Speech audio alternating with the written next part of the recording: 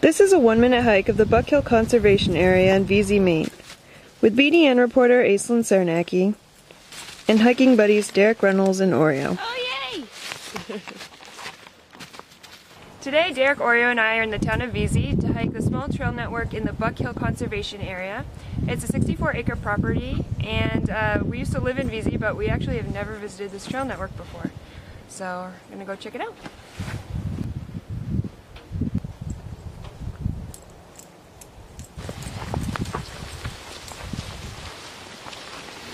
These things?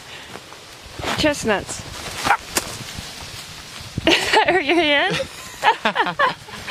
Not far past the gate, if you turn left, you'll reach a area of American chestnut trees, and these were planted in 2005. Right now, all of the nuts are all over the ground, and they're really spiky. It's kind of cool.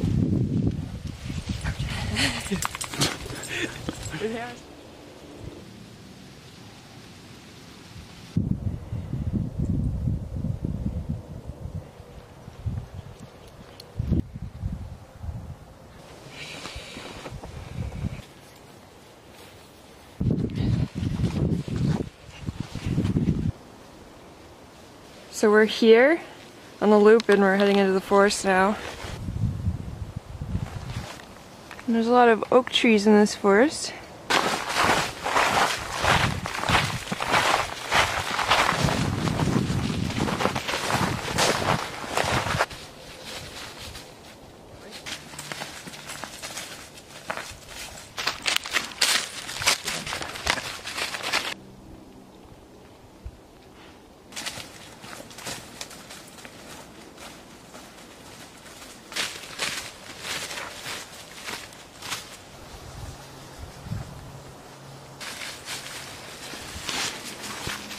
It's a nice spot. Watch the birds.